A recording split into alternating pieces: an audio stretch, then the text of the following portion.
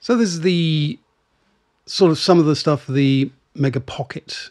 It's not everything. It's the bill of materials is actually massive. I didn't realize that until I started doing up a kit for a mate. It's absolutely ridiculous how many uh, components are on here. I've used way too many different values.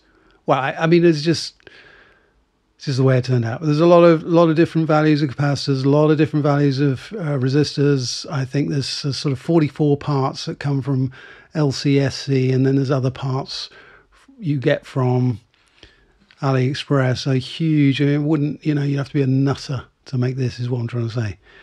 Anyway, yeah, you got your Mega 32 there for you.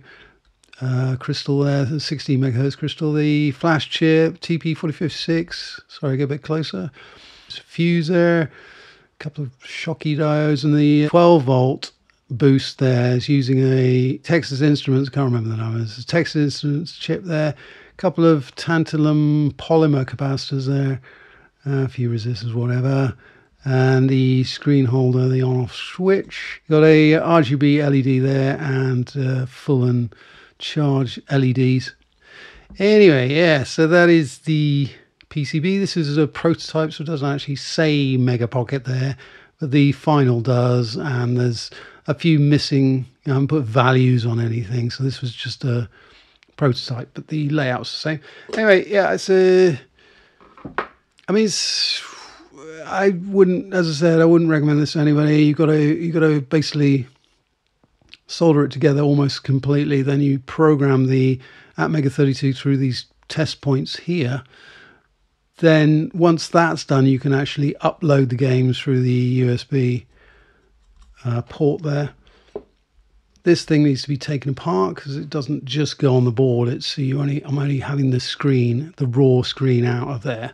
That wouldn't fit in the case. So every I think every project I've seen where they've done used a you know air quotes big screen uh, Arduboy uh, they've actually just used this and they've slapped it on the PCB or they've just wired it in. But that wouldn't actually fit in the case. And plus, I didn't want this ugly, uh, ugly um, surround here. I think it's, uh, it's pretty horrible. Uh, so yeah, this gives me the kind of one of the smallest form factor. Well, I believe so. I mean, I suppose you could cut that bit part down, but it's one of the smallest form factor large screen, 2.42 inch OLED screen, Arduboy game compatible handhelds out there. It's a bit of a mouthful. Uh, anyway, I'm not going to be too, doing too much soldering on camera because uh, I do I do need to get one more of these built. I've already built one. I do need to build one more, um, but uh, I think uh, people, you know, they, they'll they'll just skip over the soldering anyway. So I'm not going to put it in the video.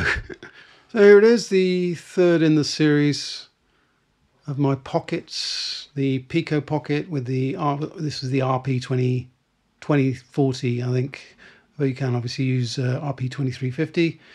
This is the uh, Crock Pocket with the ESP32S3, clear back, turned out really nice this one.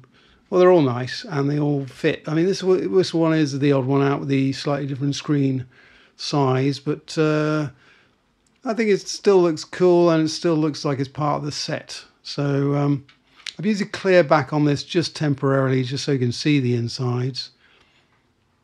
But I will eventually put it back into the unclear one because I don't think that looks particularly nice. And uh, not, not everything needs a clear back. Yeah, there it is. So it's Arduboy game compatible, runs all the games can't do the grayscale very well. Um, oh no, oh no, yeah, have, is there a worse game I could have picked? Nope.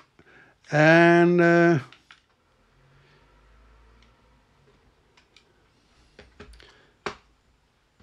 I don't know if I'll do a another one. I mean, this is these are all the um, these are all the handheld sort of tropes, really. I mean, this is all the DIY handheld tropes. I've basically covered them all apart from the one which is the Pi ones, you know, the uh, Pi Zeros or any kind of Pi handheld using RetroPie.